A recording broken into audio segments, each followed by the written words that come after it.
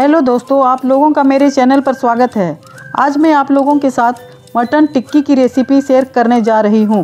अगर आप लोगों को मेरी रेसिपी ज़रा भी पसंद आए तो मेरे वीडियो को लाइक शेयर कमेंट ज़रूर कीजिएगा और मेरे चैनल को सब्सक्राइब करना मत भूलिएगा। तो चलिए, बनाते हैं मटन टिक्की मटन टिक्की बनाने की सामग्री।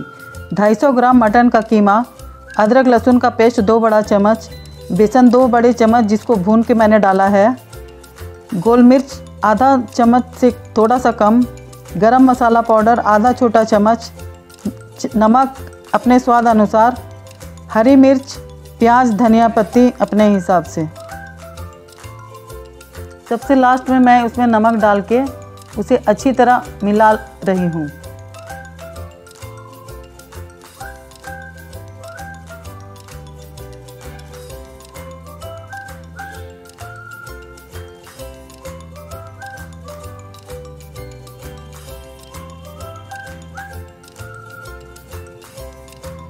अब मैंने कीमा में सभी सामग्री अच्छी तरह मिला लिया है।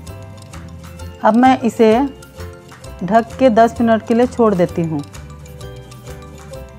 10 मिनट हो चुके हैं। अब मैं हाथ में तेल लगा के छोटी छोटी टिक्की बनाती हूँ।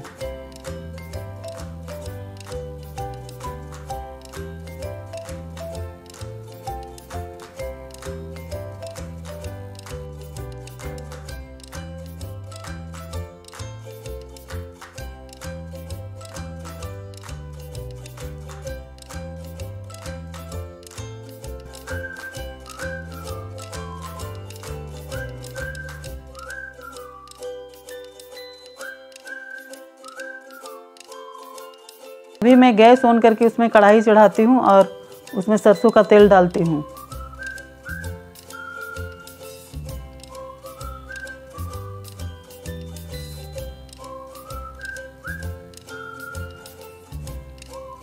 तेल गर्म हो चुका है, उसे मैं मीडियम में रखती हूँ।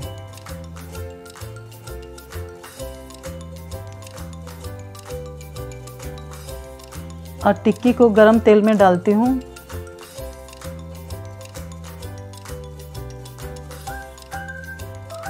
और उसे अच्छी तरह अलग करके पाँच मिनट पकने देती हूँ एक साइड से।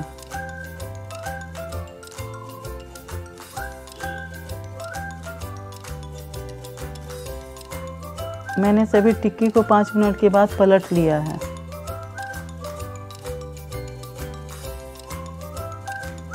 पलटने के बाद भी पाँच मिनट हो चुके हैं। टिक्की तैयार है। उसे मैंने एक प्लेट में निकाल लिया है।